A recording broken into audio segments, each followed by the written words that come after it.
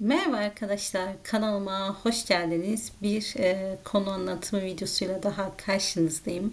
Bu videonun konusu Allerdings arkadaşlar. Ne demek peki Allerdings? E, ne anlama geliyor? Allerdings hem konnektör yani bağlaç hem de partikel olarak kullanılabilen kullanılan bir e, sözcüktür arkadaşlar. Konnektör neydi? Bağlaç demekti. Partikel neydi? Full wörter dediğimiz cümleyi zenginleştiren yapılardı. Bunu da size belirtmiş olayım. Şimdi konnektör olarak önce biz e, Allerdings'in anlamını açıklamaya başlayacağız. Ne demek freilich? Elbette. Freilich elbette demek. Bu arada freilich ile ilgili de ayrı bir video hazırladım. Henüz yayını açmadım. Jedoch demek. E, jedoch fakat ama anlamında aber e, eş anlamlı. Obwohl buna rağmen. Trotzdem e, buna karşın e, anlamında eş anlamlı kullanılıyor. Şimdi ben size, size e, bunları açıklamak için bir örnek cümle yazdım. Ich habe mit ihm gesprochen. Onunla konuştum. Allerdings verstand er mich nicht. Şimdi ben onunla konuştum. Allerdings bakın allerdings'ten sonra benim e, cümle fiille devam ediyor. Ee, o beni anlamadı. Allerdings. Buna rağmen beni anlamadı. Burada allerdings yerine ben trotzdem kullanabilirim arkadaşlar. Trotzdem verstand er mich nicht. Peki obwohl ile cümleyi tekrar nasıl yazarım?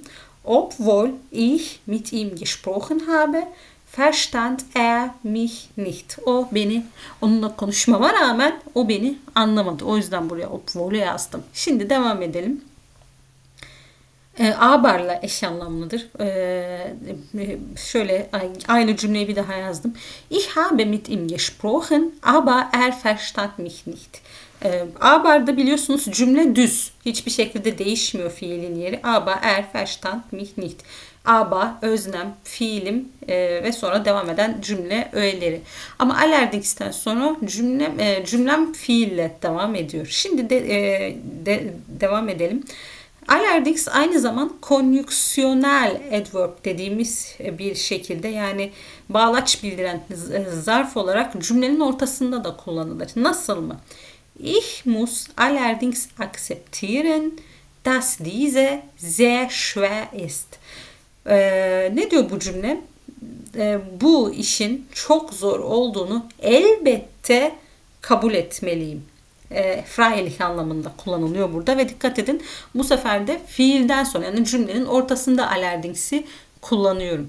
Mesela devam edelim. Ich kann diese Frage allerdings nicht beantworten. Ben bu soruya tabii ki fakat cevap ver, ver, veremeyebilirim anlamında kullanılıyor. Freilich elbette demiştim. Onunla da ilgili ayrı bir video hazırlıyorum size. Sonra partikel yani Füllwörter olarak da kullanılıyor. Hast du schon gehört, dass sie sich getrennt haben? Duydun mu onların boşandığını yani çoktan ayrıldığını? Ben de ne diyorum? Allerdings. Peki ne demek burada? Gene aynı cümleyi yazıyorum size. Hast du schon gehört, dass sie sich getrennt haben? Ben de cevap veriyorum. Ya natürlich evet duydum anlamında. Yani burada alerdiksi ya natürlich anlamında kullanıyorum arkadaşlar. Evet. Umarım video sizin için faydalı olmuştur. Ee, videonun ortasında yukarıda dikkat ederseniz ekran kartları var. Ee, sizin için faydalı olacağını düşündüğüm videoları oraya ekliyorum. Oraya tıklayıp o videoları izleyebilirsiniz. Bitiş ekranlarına çeşitli videolar daha yani daha önce çektiğim videoları da ekliyorum. Onları oradan tıklayıp izleyebilirsiniz. Kanalıma abone olursanız çok sevinirim. Kendinize iyi bakın. Hoşçakalın.